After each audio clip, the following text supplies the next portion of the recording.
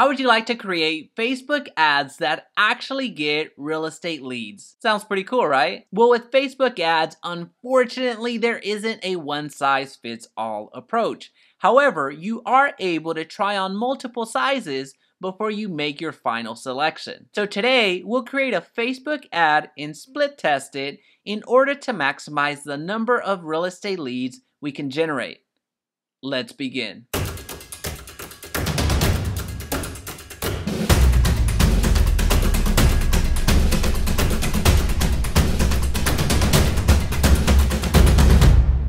Hey, you time it. If we're just meeting, welcome to the channel that brings actionable content to grow your business through online marketing. So if that sounds beneficial, consider subscribing. Question of the day, what's your go-to Facebook ad? Let me know in the comment section down below. Today we're running a just listed Facebook ad campaign. You run this type of campaign when you just list a property. Makes sense, right? As a reminder, if you're looking for high performing Facebook ads just like the one you're about to see today, please be sure to check out my course, Facebook Ads Mastery for Real Estate Leads. Now, before you launch your Facebook ad, you want to consider what is your lead magnet going to be? In the just listed campaign we're about to run, the lead magnet is the property information. Now, the second thing to consider is how are you going to deliver that lead magnet? Are you going to be using landing pages, squeeze pages, single property websites?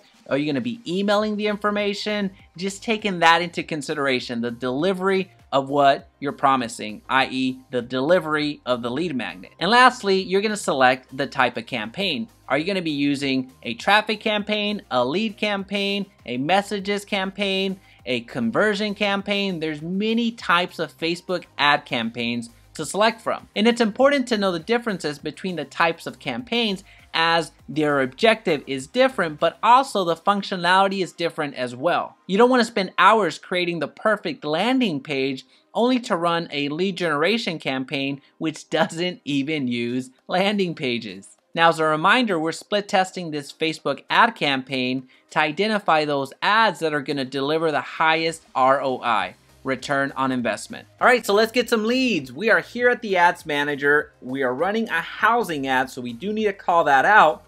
As a reminder, if you're running a credit, housing, and employment type of ad, then you do have to do the special ad category. No way around it. The type of ad that we're gonna run today is a lead generation campaign. So we're gonna do lead and just listed campaign. We're not gonna optimize from the campaign level. We're going to be split testing, but we are not going to be optimizing from the budget level. So I'll show you what that looks like in a few seconds. Lead. Just listed. All right, so we'll be using that page. We're not doing dynamic creative. We're not doing any custom audiences for this particular go around. We do want to target people who live in this particular location. So we'll go with Providence Village right here. All right, 15 miles is the lowest radius, or the smallest radius that we can get to. Everything else is going to stay the same. Languages we're not going to bother with. Detail targeting, we are going to leave this one blank. We're going to go with no interest for this ad. And then on the split test, we'll add some audiences. How about that? All right, so we'll we'll leave this blank for now, the targeting. We will edit our placements. So we'll remove that. We'll only go after the newsfeed in this particular campaign. All right, we want all the mobile devices. Everything else looks good. We're optimizing for leads. We don't have a cost control in place yet. We're going to spend $5 in this particular ad set. Everything else looks good. And ad set may get zero leads. That I can guarantee you that it's not going to get zero leads. So we're going to continue. It says that just because it um it does. I really don't know why it would say that. But just know that it will it, whenever you're running ads, if you remove targeting, if you get too hyper local with um, some interest, it's going to show that. But trust that the ad copies that you're using, they're going to work. Well, let me rephrase that.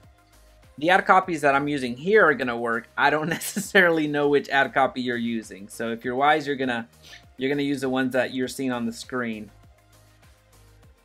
All right, we're gonna do single image, clear that, clear that, add an image. One quick favor before continuing, please be sure to hit the like button so this video's reach is magnified and others benefit. Right here, continue. See what that looks like. That'll that'll be okay, but let's see. So the square, the original, horizontal, move that up, square, move it over just a bit. Alright, so we'll save it. See what that looks like. It's what it's going to look like on the mobile news feed, the desktop. It looks good. Alright, now the ad copy we're going to use is the just listed ad copy. Okay, headline. Just listed. Will not last. Alright, we're going to go to learn more. We're going to make a new form.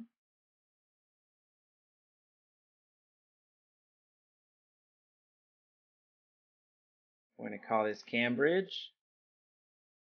We're going to go to the settings. We're going to open this up.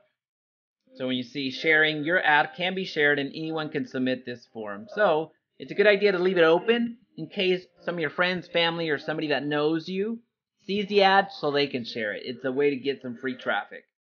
We're going to leave it with more volume versus a higher intent. All right.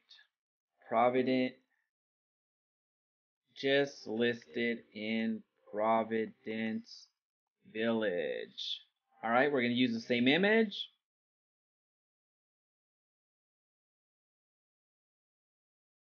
Will not last.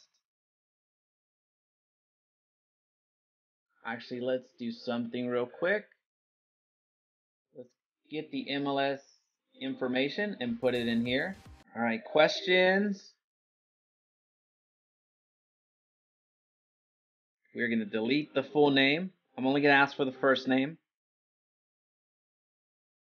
First name. Uh, phone number. Move this up. First name, email, phone number. That's what we're asking for. Okay. Now you see the form that we've just created. And then learn more by providing your info below. That will be fine privacy policy. Gonna go to my website. Um, bum, bum, privacy policy. Copy this. URL. Privacy policy. Thank you screen. Thanks, you're all set. And now what we're going to put is, alright, view website, we're just gonna link them up to my website. Right there. View properties. Paste. Alright, we're gonna save it. Finish.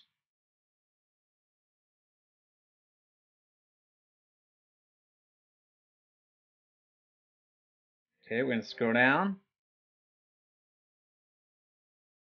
Now we're going to confirm.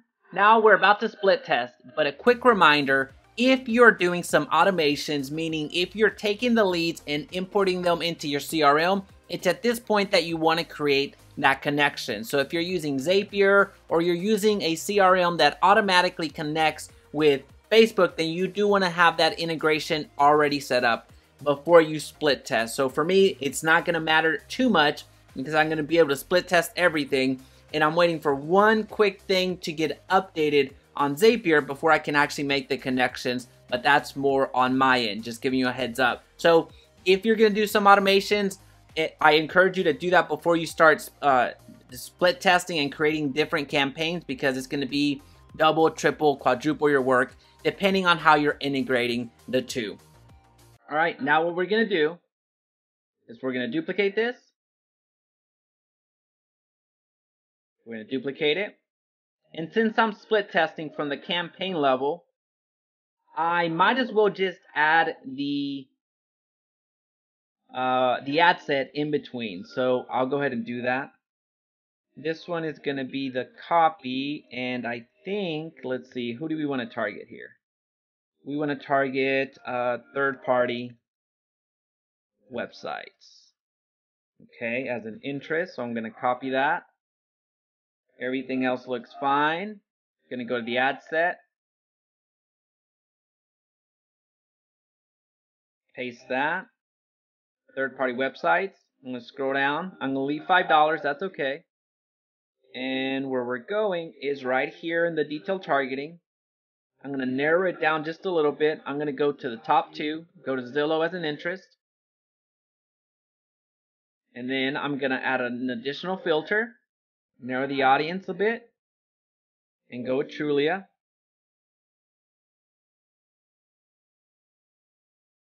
All right. Actually, since I'm not adding all of them, then I'll just do Zillow.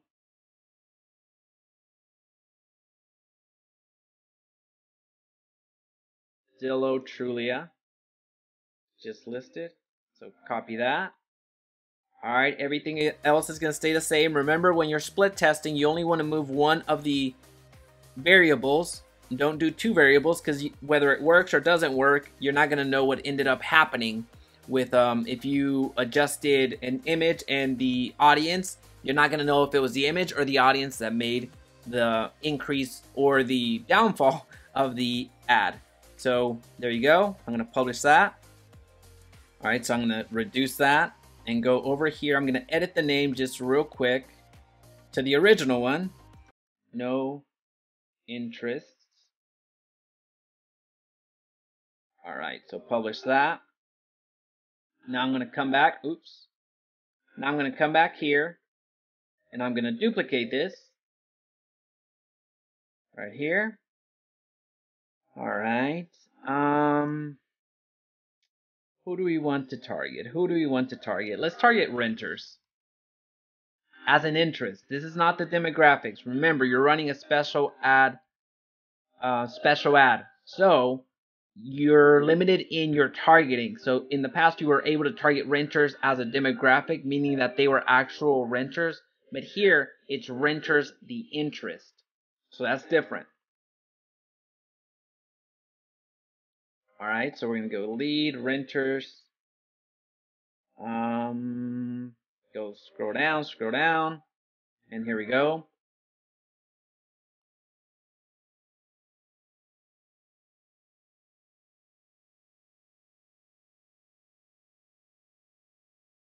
renting. All right, so we'll leave that how it is. Gonna go to the ad.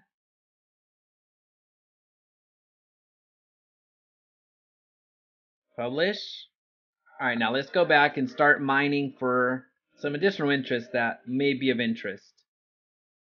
Uh, we're going to go here. Duplicate it one more time. So I'm going to allocate $20 per day in this particular campaign. I don't know what we're going to use quite yet, so I'm going to go to the ad set and start looking for some interests. Let's see. I may end up doing the rest of the third-party websites, but I'm not sure. Let's see. I'll suggest, I'll go with Zillow and then I'll look at the suggestions. So we have homes.com. I didn't select that. House hunting. Let me see if I can move myself. All right. House hunting. Where did that go? House hunting, 16 million. That's way more than that's more than Trulia, so I'm gonna I'm I'm gonna go for house hunting most likely. First time buyer. Alright, so I lied. I'm gonna do two more interests. We're gonna do that's not sizable enough. we're to go with house hunting, and then we're to go with first time buyer. So we're to allocate 25 bucks for this campaign.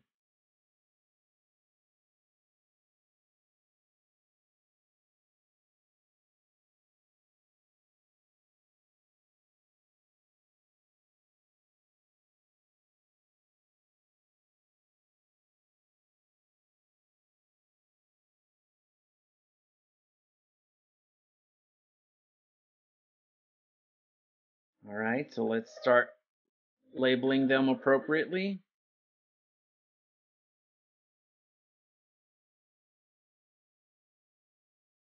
Oh, that didn't take.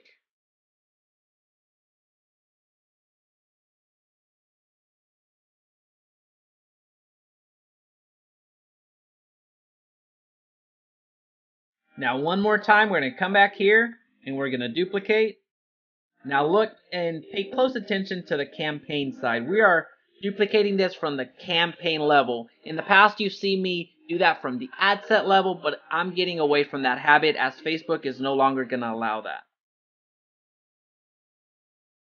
All right. Um, what was it? We just did renters, no interest, house hunting. Um, wow, I'm spacing out. What was that? House hunting. It was first time homebuyer, right?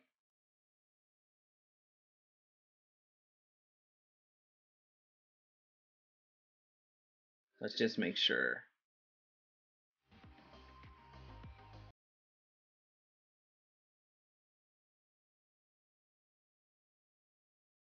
First time homebuyer. Okay.